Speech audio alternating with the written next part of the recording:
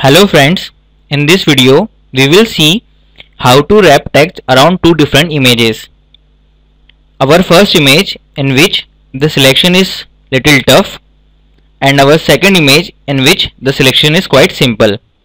Okay, so let us come to our first image. Now we want to write some text on the image excluding the parts which contain elephant and the tree. So what we will do, we'll come to our shape tool okay? And we will choose the rectangle. Make sure you have path selected here. And we will draw the rectangle. Now to exclude the parts which contain elephant and the trees you can choose any of the shape. Let us choose ellipse. Now go to your path operation okay? And choose subtract from shape now draw a sphere around the elephants sorry ellipse and draw another ellipse around the trees. Okay? Small one here also. Now choose your type tool and start typing here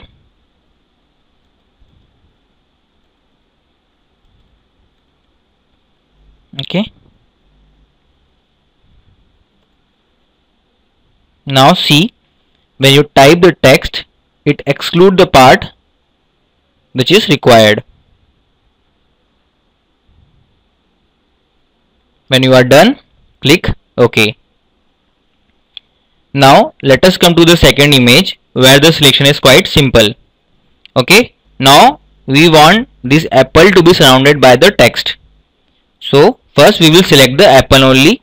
So we will go to our magic wand tool and to select the apple only we'll invert the selection.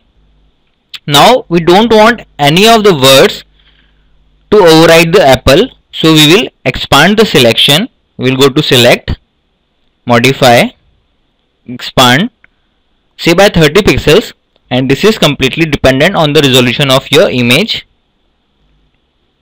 Okay now right click and save selection.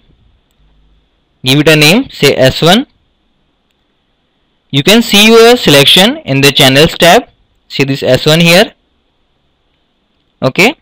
Now grab a rectangle marquee tool and divide the image exactly in half. Come to the channels panel. Now on your physical keyboard hold Ctrl plus alt and you can see a negative sign there and click on the layer.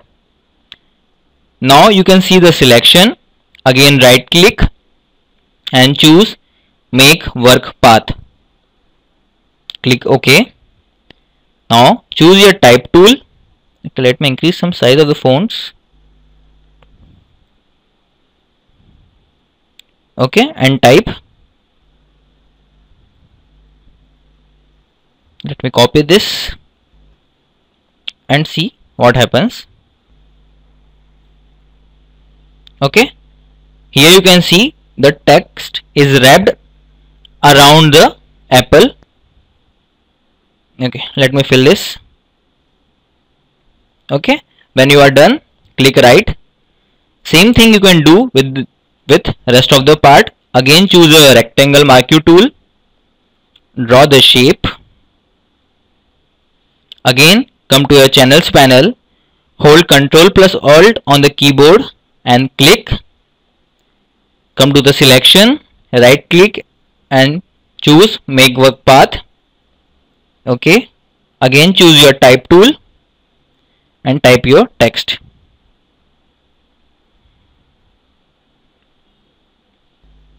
So in this way we will wrap our text around two different images for two different kind of selection. Thanks for watching this video guys.